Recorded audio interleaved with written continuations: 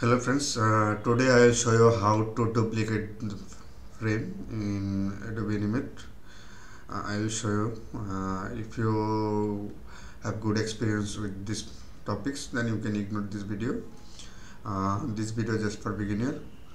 Uh, so let's start.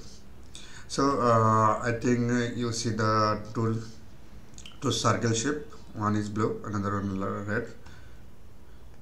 Alright so I will just duplicate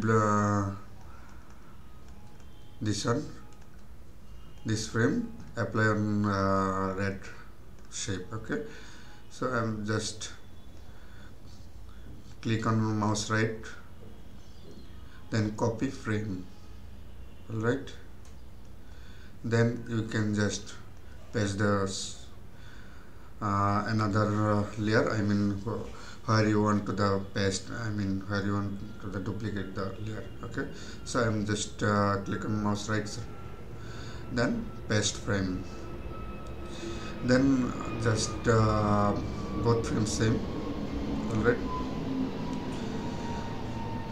So now duplicated the frame okay? So if you want to the like uh, uh, Uh, another animation another color then you can edit it as you want.